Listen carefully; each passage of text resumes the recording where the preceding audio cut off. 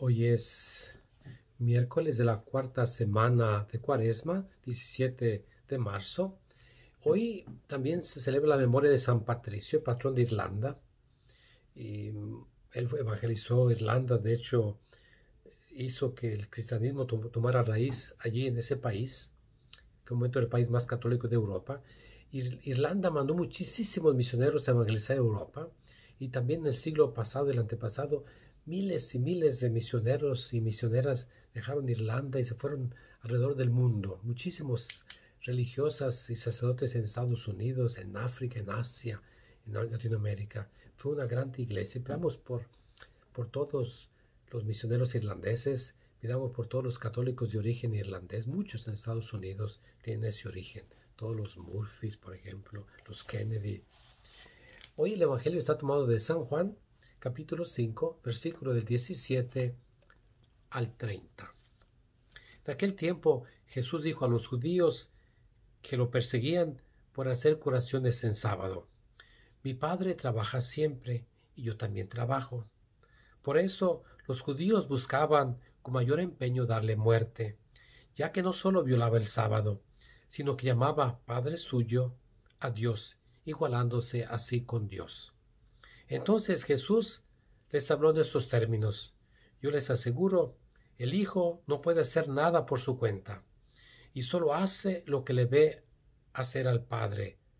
Lo que hace el Padre, también lo hace el Hijo. El Padre ama al Hijo y le manifiesta todo lo que hace. Le manifestará obras todavía mayores que éstas, para asombro de ustedes. Así como el Padre resucita a los muertos y les da la vida, Así también el Hijo da vida a quien Él quiere dársela. El Padre no juzga a nadie, porque todo juicio se lo ha dado al Hijo, para que todos honren al Hijo como honran al Padre. El que no honra al Hijo, tampoco honra al Padre. Yo les aseguro que quien escucha mi palabra y cree en el que me envió, tiene vida eterna, y no será condenado en el juicio, porque ya pasó de la muerte a la vida. Les aseguro que viene la hora, y ya está aquí, en que los muertos oirán la voz del Hijo de Dios, y los que la hayan oído vivirán.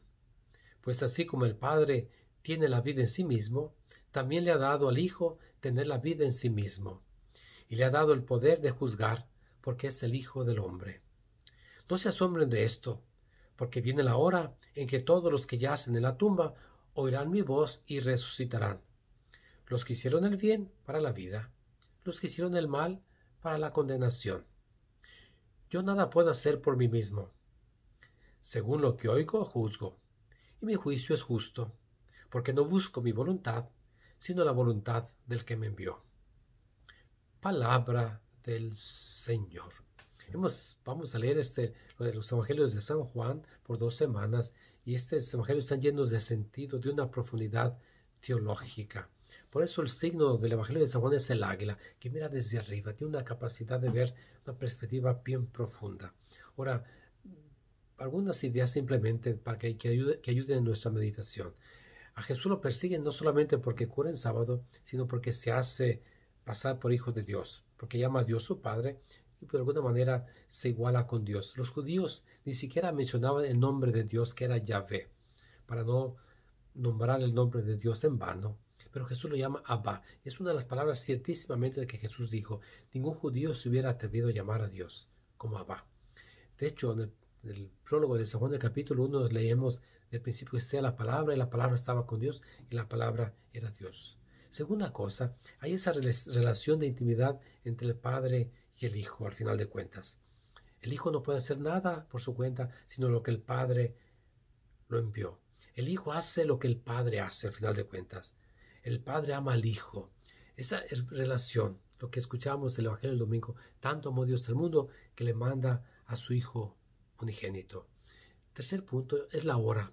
La hora en el Evangelio de San Juan es el momento de la crucifixión. Cuando Jesús, como decía el Evangelio también domingo pasado, como se levantó la serpiente, el Hijo del Hombre será levantado. Esa es la hora y para eso he venido. Es la hora del juicio, donde se descubrirá la verdad. Y finalmente, en la resurrección, unos resucitarán para la vida y otros para la condenación. Y la, la, vida eterna empieza ya aquí, cuando nos decidimos en creer en Jesús, en hacer las obras de Jesús. Hoy es miércoles, recordamos también es el tercer día de los ejercicios cuaresmales, la misa de siete y terminando tenemos los ejercicios cuaresmales con el Padre Enrique. Te invitamos, te invitamos, participa. Terminamos con la comunión espiritual. Yo creo, Jesús mío, que estás real y verdaderamente presente en el Santísimo Sacramento del altar. Te adoro, te amo con todo mi corazón y deseo recibirte dentro de mi alma. Mas ya que no lo puedo hacer sacramentalmente en este momento, venid por lo menos espiritualmente en mi corazón. Como si ya te hubiese recibido, me abrazo y me uno todo a ti.